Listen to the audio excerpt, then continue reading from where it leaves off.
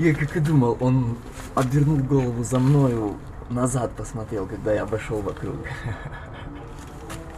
И, он- и потом сразу вернулся прямо в точку, на которой больше всего его камера держала.